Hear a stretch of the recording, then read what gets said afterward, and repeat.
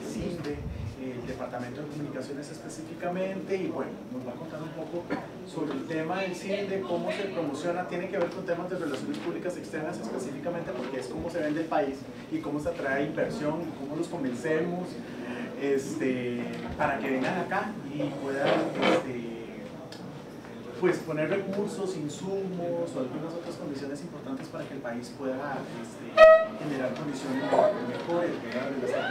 Así que eh, lo dejo, pues, Carlos, son las chicas y el chico de Relaciones Públicas Externas. Estamos empezando el, el curso, eh, hemos hablado un poquitito sobre el tema de Relaciones Públicas Externas, el tipo de comunicaciones que se a nivel externo, algunos procesos de herramientas en particular y estamos empezando en temas de branding y desarrollo de marca. Entonces me parecía bastante importante el tema de posicionar el tema de la marca mamá de todas las marcas, que es la marca de nuestro país. Así que eh, se los dejo con Carlos, chicas. problema con eso. Eh, como les decía don Jaime, mi nombre es Carlos Morales, yo trabajo como especialista de imagen país y comunicación de CINDE.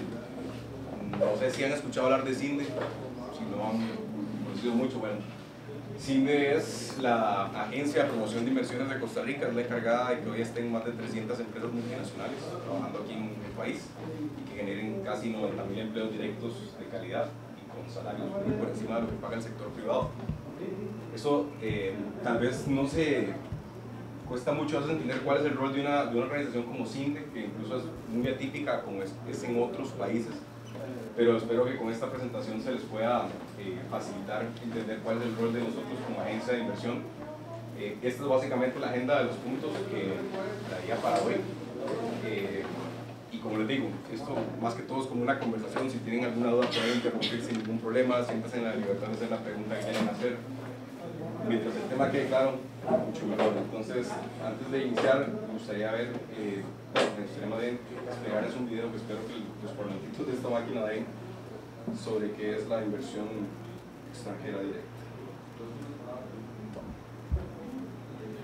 IED significa más que inversión extranjera directa, es educación, empleo y desarrollo para Costa Rica.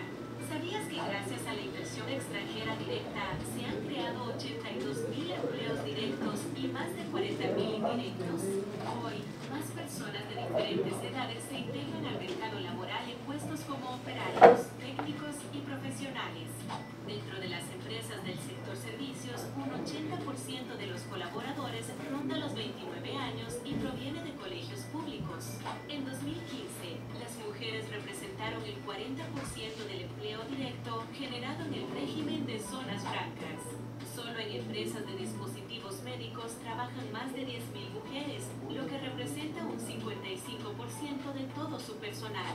Además de pagar salarios por 1.400 millones de dólares, las empresas en zona franca aportaron 515 millones de dólares a la Caja Costarricense del Seguro Social y 22 millones de dólares al Instituto Nacional de Aprendizaje.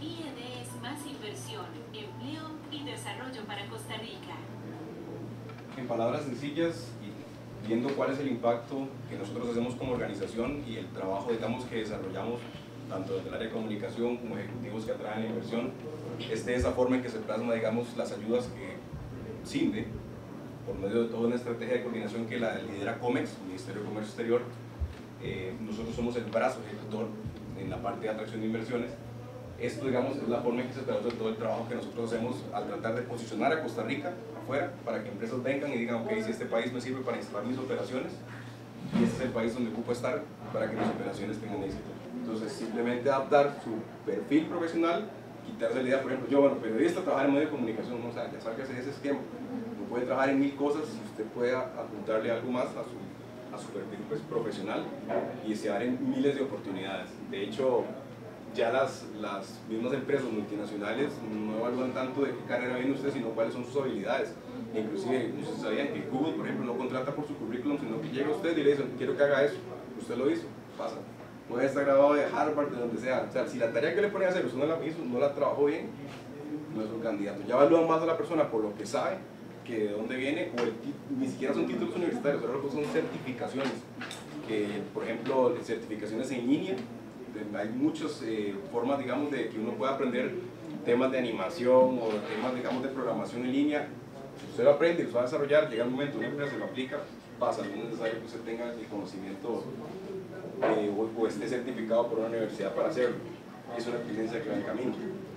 Las carreras STEM, o en el caso en español, CTIM, que son ciencia, tecnología, ingeniería y matemáticas, son las que van a estar teniendo para estas empresas en específico un poco más de, de demanda, ¿verdad? O cuando les sale en algún momento tengan que trabajar en, con algo que tenga relación con inversión extranjera directa, básicamente es, es la inversión que realiza una persona, una empresa, eh, instituciones, pueden ser empresas públicas, privadas, en un país extranjero.